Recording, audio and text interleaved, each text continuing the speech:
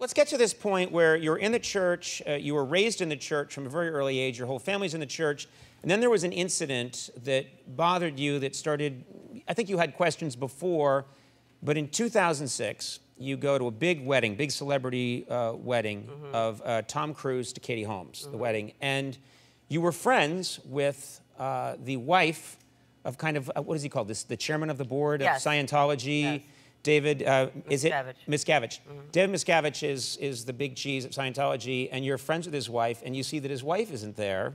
Right. And you asked, her name is Shelly. Where's Shelly? Right. This, there's this big wedding. Where's Shelly, and what happened? Well, I asked innocently, um, you know, where's Shelly? Because I thought it was odd. It was being, uh, they were calling it the wedding of the century, the, mm-hmm. the church. And I said, well, where's Shelly Miscavige? And with that was a reaction of, you know, people just scattering. They didn't want to have any part of this. Um, so people around you, like, got out of there? Literally just, like, scattered. And I was like, oh, oh, oh okay. Um, and, and I had gone to the, to the church, and I, I asked the, the spokesperson at the time, Tom Davis, uh, where is Shelly? I think it's weird that she's not here. And he said, you don't have the effing rank to be asking about the leader's wife. Mm-hmm. And I felt that I did have the F in rank to ask where a human being was. Right. Um, and she's your friend. You're just saying. Well, uh, I, I, you know, you, we're saying friends, and, and the church is saying, you know, that we weren't friends. For, it was. It, it is not usual for a parishioner like me, even though I was considered a celebrity in my church, mm-hmm. to be kind of mingling with the upper echelon of exec- senior executives of the church. But we were friendly. Um, for, for many years, we exchanged cards, we exchanged gifts on the holidays. She always wrote a thank you note. Mm-hmm. So it was suspicious that all of a sudden it was just radio silence. And so I felt I did have the right to ask where a human being was.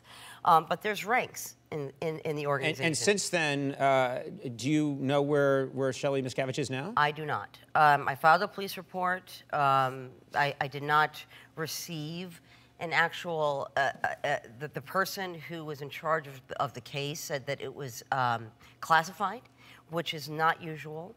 Um, that they couldn't give me any information other than she was fine. I, I needed proof. I mm-hmm. wanted to know who who uh, spoke to her. Was mm-hmm. she alone? Was she okay? Was are you sure? I was she were you talking to a representative of her?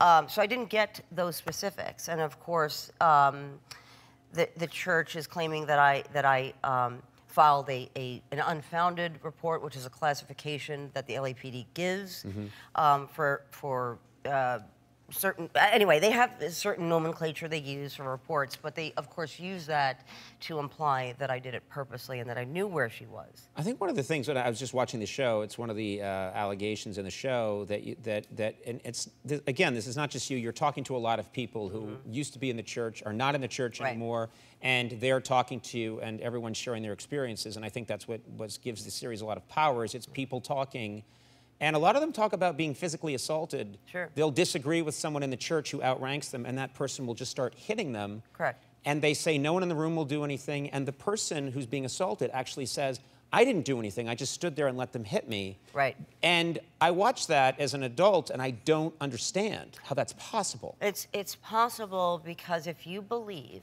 that you have barred freeing mankind, that, that, that your transgression of not putting a cup where it should be or um, giving somehow somebody, impeded the progress ex- of the church. Yeah. Correct, correct. And so they start to believe that they deserve to be. They deserve this punishment. Correct, and that's how it um, it has has um, continued.